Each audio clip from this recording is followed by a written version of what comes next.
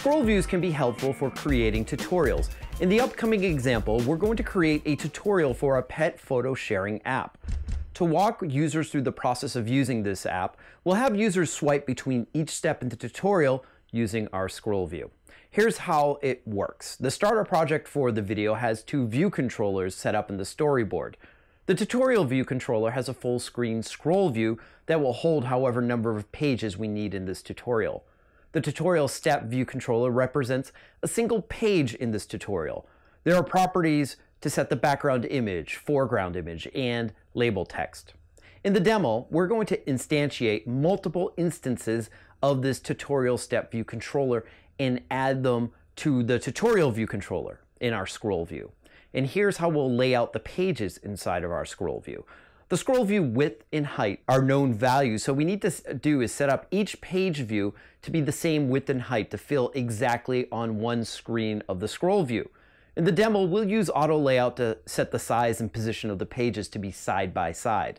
Since we're using auto layout, the scroll view will know the size and position of each page subview and know its total content size. If you're laying out things manually, you might need to calculate the total content size yourself and then set the scroll view's content size manually. That will get you a scroll view with the correct content. But when you run the app, you'll still be able to scroll anywhere. So maybe on maybe one half of the page is visible to another half of the page.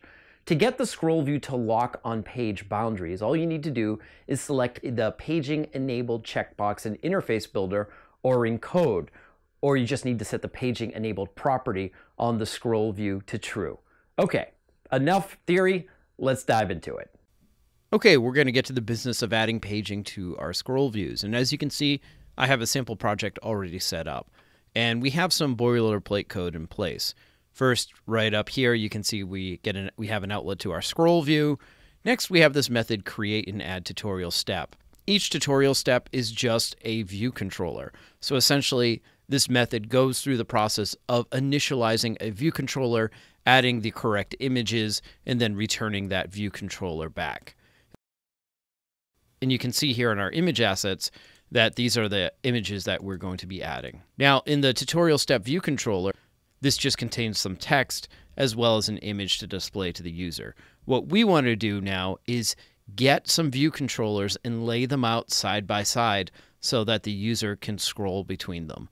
And we're going to do this within the tutorial view controller. So the very first thing we'll do in view did load is create our pages. And I'm going to close these panes just to give us a bunch of room. And again, we're calling this method create and add tutorial step. We're going to pass in a background image name, and this is just BG1 an icon name, which is just icon1, and some text. The text doesn't really matter so much, but we'll add some stock text.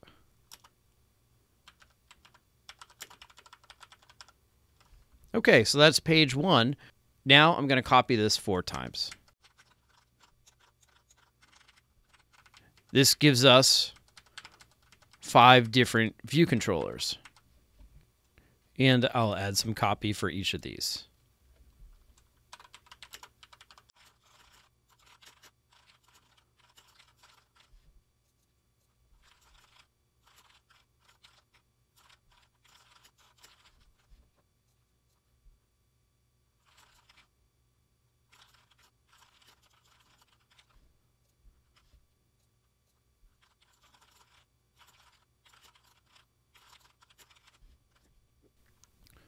Okay, so now that we have our five view controllers, what I'd like to do next is store them in array. So I'll just create a new array, and this array will contain tutorial steps view controllers like so.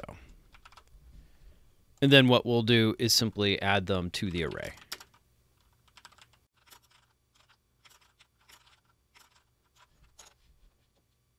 Now that we have our view controllers, we now need to set up the constraints between them. So I'm going to create a dictionary, and we're going to call this views, and this will contain a string as well as a UI view. And this is helpful when setting up our constraints programmatically.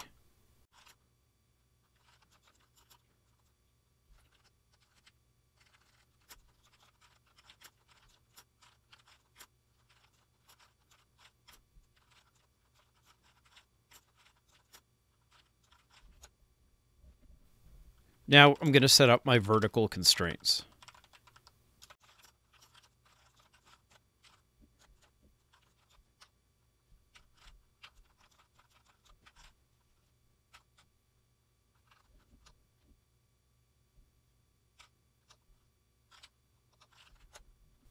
With my vertical constraints set up, we'll set up our horizontal constraints.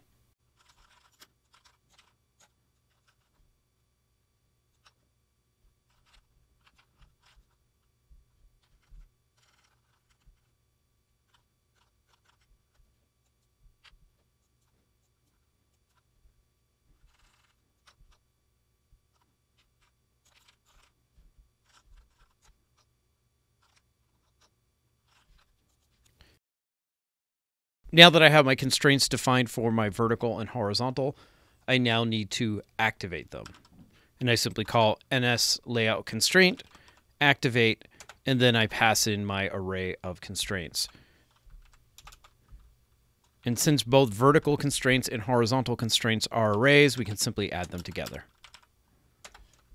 If adding constraints is confusing, definitely check out our course on auto layout. I'm just going to fix that right there. And now let's build and run.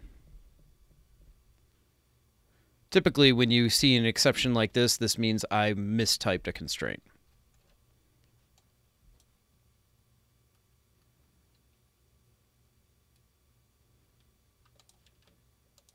I'm going to stop, head back over here, and it looks like I put in exclamation mark where a pipe should have been. Let's build and run again. And here is our view controllers. Now, as you can see, I'm able to scroll between them. And essentially, these view controllers are all laid out side by side.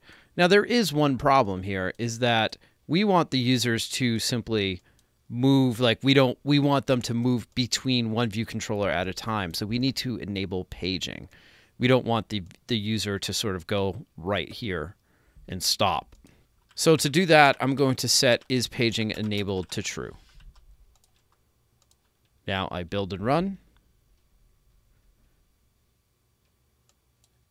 And now you can see we have paging enabled. If I get a little halfway there, it snaps back. And if I get over halfway, it moves to the next view controller.